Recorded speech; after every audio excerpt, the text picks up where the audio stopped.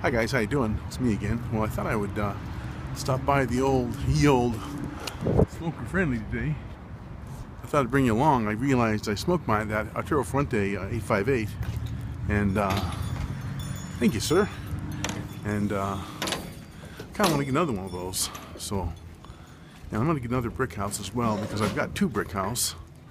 But uh, the thing of it is that. If I'm going to do a review on that cigar, I, need, I, I want, want to do the review with, but also I want to smoke one with my son. Um, so, she's a brick house. Here we go. Let's just feel these, see if we can find one that doesn't feel too tight. The other ones are pretty, felt pretty good. I kind of like to feel cigars a little bit, you know before I purchased them. That feels pretty good. That's a brick house. She's a brick house. She's mate mate. Okay, enough of that. Now, Toro Fuente. Because I got thinking anyway, I want to do a review of the uh, of the uh, brick house, and I. Uh, I was thinking that, um, squeeze test here again. I was thinking that uh,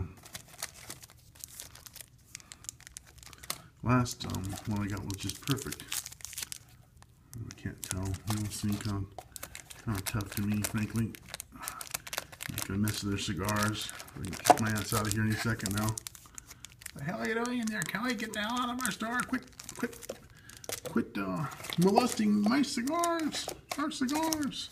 Anyway, here's the thing. I got thinking, you know, so there's that, uh, I got thinking that, uh, you know, if, uh, if I'm going to do a review of the brick house, I need one to do the review with, but I also want to smoke one with my son because I bought two that day. One, one to give to him. He doesn't know that yet. But I want to smoke it with him. So, anyway, let's just take a look again at. The old humidor. Part of is black. Let's just take a little tour. H up, and you know, I, I, I don't know if I ever, I think I said on camera one time, but my former father-in-law, nice man by the way, he, he gave me a, a, a handful of H Upmann in tubes. Um, it was, I think it was one of my first, you know, premium hand roll type cigars, and I just really liked them. It really got me, really got me going to better cigars. What do you guys think? You guys smoke H Upmann? Nice cigars. I haven't had them for a long time. I've got old one in my humidor right now. Macanudos. Here's a uh, Gen squared with spider webs. Can you see that? Spider going down there. So the Gen squared hasn't had much action lately. Look, there's other spider webs. There's spiders living in here. Look at this. Little spider webs there too. Anyway, so not, of, uh, one of these days I'm going to try some of these Gurkhas. I've been critical of Gurkhas in the past because of the price they came out with initially been kind of critical of them, but uh, you know. Anyway, the cigars in here. Seeing an interesting one would be rollback. That's interesting. Cheap cigars.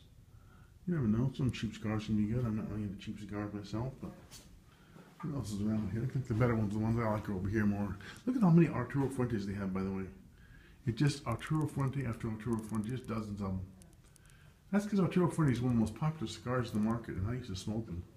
I'm going to go back to smoking them because I really like that 858. I've done a review of that first 858, 858 I bought, by the way. And, uh, but I kind of want another one here. If the weather would cooperate, we'll get some time. Look at this. Look at this crap here. The hell is this? You know me well, not, not, now, now, no, this doesn't make me happy. Look at this. Hammer and sickle on a damn cigar.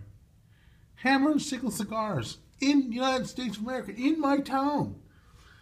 So what kind of commie cigar is that? What kind of commie conspiracy is this? Hammer and sickle cigars? Look at that. Hammer and sickle. Got a lot of communists up in here. Pinko cigars. Well, anyway, I'm going to go buy a cigar. I'm going to leave this on. They'll allow me to when I pay for my cigars. I don't want to out anybody or make anybody uncomfortable. So I may end this video prematurely. We'll see. It's pretty strange videoing where you're buying things. So There's a line. There's a line. I guess I'll turn my camera off for now and just buy these cigars, but I'll talk to you later. Is that how much a charge on it?